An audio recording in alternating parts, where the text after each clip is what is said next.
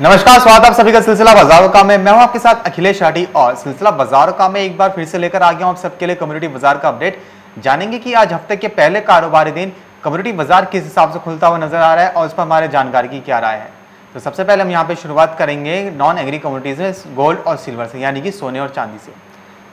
तो जैसे कि हम देख रहे हैं कि सोना इस वक्त अंतर्राष्ट्रीय बाजारों के अंदर जो कारोबार करता हुआ नज़र आ रहा है, वह अठारह डॉलर पर कारोबार करता हुआ नज़र आ रहा है।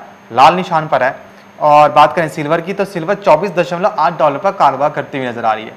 हम देख रहे हैं कि सोने में, सोना आज भी 1800 डॉलर के ऊपर कारोबार करता हुआ नज़र आ रहा है। 1800 डॉलर के ऊपर सस्टेन होके चल रहा है।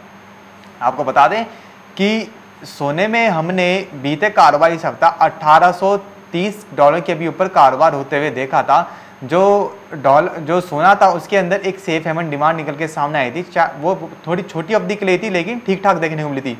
और अब अमेरिका की तरफ़ से जो डेटा निकल के सामने आया है यूएस जॉब्स का तो उसमें निकल के सामने आया है कि जो यूएस जॉब्स हैं, वो तो कम देखने को मिल है। लेकिन जो इनकम है, जो ग्रोथ जो इनकम ग्रोथ होती है जॉब्स की, उसमें थोड़ी तेज़ी देखने को मिली है, जिसकी वजह से हम देख रहे हैं कि सोने चांदी की कीमतों में एक उठापटक का माहौल देखने को मिला था। ये जब बात करें अगर कच्चे तेल की तो कच्चे तेल में हम देख रहे हैं कि इस समय आज जो कच्चे तेल कारोबार करता हुआ नज़र आ रहा है डब्ल्यू टी आई अड़सठ डॉलर पर एक फ़ीसद की गिरावट के साथ और ब्रांड क्रूड ऑयल इकहत्तर डॉलर पर एक फ़ीसद की गिरावट के साथ कारोबार करते हुए नज़र आ रहे हैं।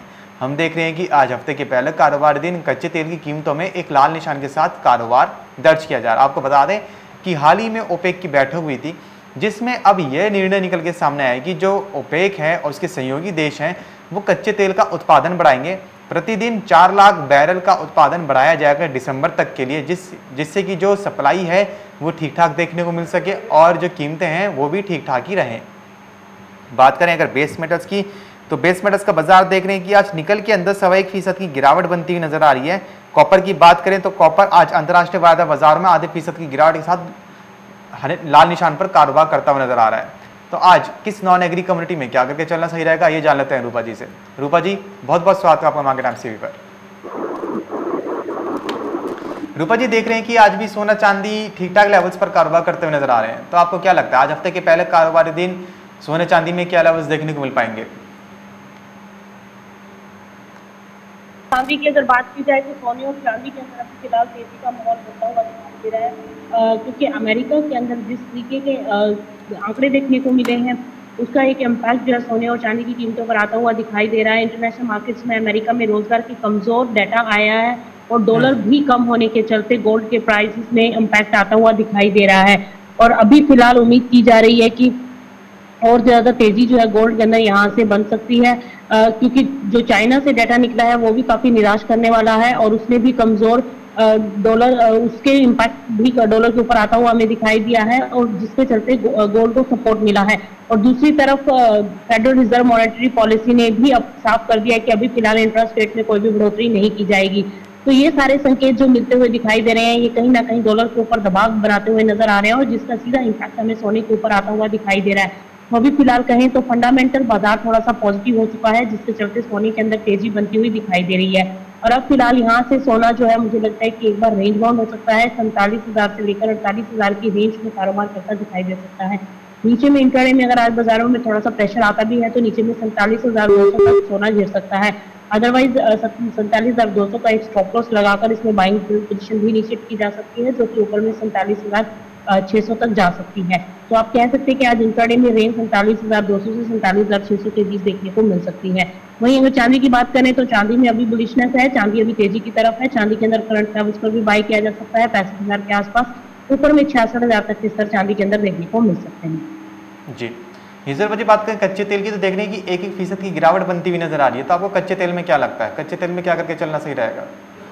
देखिए कच्चे तेल में इंट्राडे में प्रेशर है और ऊपरी स्तरों पर दबाव बन सकता है, लेकिन अभी भी बाज़ार पॉजिटिव है, कोई बहुत ज़्यादा भी गिरावट के संकेत नहीं है। कच्चा तेल अभी नीचे में एक बार आप मान के चल सकते हैं कि आज इंटरडे उनचास सौ साठ तक नीचे गिर सकता है। सितंबर वायदा एक्सपायरी भी है तो थोड़ा बहुत ऊठा का मोल बना रह सकता है, लेकिन फ़िलहाल उनचास सौ अस्सी और ऊपर में पाँच हज़ार बीस के ऊपर निकलता है तो वापस से तेज़ी की तरफ़ जा सकता है। क्योंकि आज इंटरनेशनल मार्केट्स के अंदर हम दबाव देख रहे हैं डब्ल्यू टी आई उनसठ डॉलर यानी जो सत्तर डॉलर के ऊपर निकल गया था, वो अभी फिसलता हुआ दिखाई दिया है। ब्रेंट भी फिसला है बहत्तर डॉलर से? तो फ़िलहाल थोड़ा बहुत गिरावट बढ़ सकती है। क्रूड ऑयल इंटरडे अड़सठ डॉलर तक इंटरनेशनल मार्केट्स में जा सकता है और ब्रेंट जो है इकहत्तर डॉलर के लेवल छू सकता है।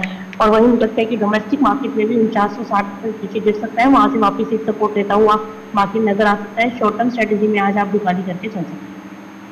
रूपा जी, बात करें बेस मेटल्स की तो देख रहे हैं कि निकल और कॉपर लालिशन के साथ कारोबार करते हुए नज़र आ रहे हैं। तो आपको क्या लगता है, आज बेस मेटल्स में क्या रणनीति अपनाकर चलना सही रहेगा?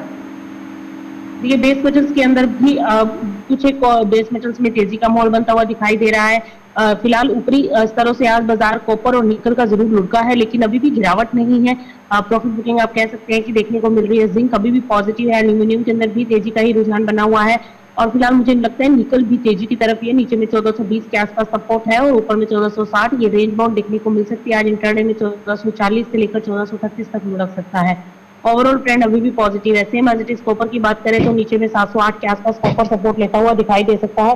708 के आसपास से कॉपर के अंदर एक बार फिर से बाइंग आते हुए दिखाई दे सकती है। इंटरडे में तीन से चार रुपए का करेक्शन आज देखने को मिल सकता है। रूपा जी, जानना चाहेंगे वो कौन सी नॉन एग्री कम्युनिटीज रहेंगी जिनके अंदर आज मुनाफा कमा के चला जा सकता है?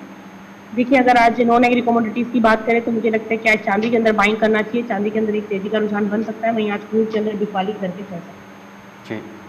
तो ये तो बात करी थी हमने यहाँ पे नॉन एग्री कम्युनिटीज़ की।